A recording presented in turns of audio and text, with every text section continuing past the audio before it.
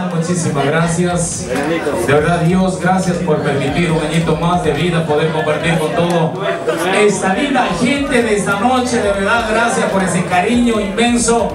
Un millón de gracias a cada uno de ustedes por contar con su presencia en un año más de vida que Dios me permite vivir. Gracias a todos estos medios de comunicación, radio, prensa y televisión, a todos mis colegas artistas que han dado esta nochecita para celebrar mi cumpleaños a mi familia querida. De verdad, mil gracias. De verdad no tengo palabras para expresarme esta noche porque me hacen sentir súper, pero súper, súper feliz. De verdad, que Diosito se los pague a cada uno de ustedes. Y de verdad, pues, espero seguir cumpliendo mientras Dios me regale la vida y seguir con ese mismo cariño y con esa misma humildad.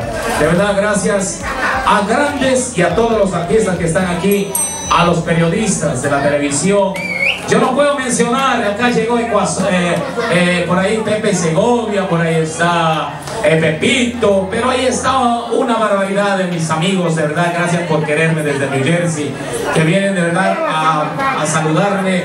Y de verdad pues bendito sea, de verdad que a ustedes Dios también les siga permitiendo compartir con esta humilde persona que es Bacán Bacán desde el Cantón Bonaseo para el mundo entero, de verdad, mil bendiciones y gracias Dios mío por darme un año más, de verdad. Un fuerte aplauso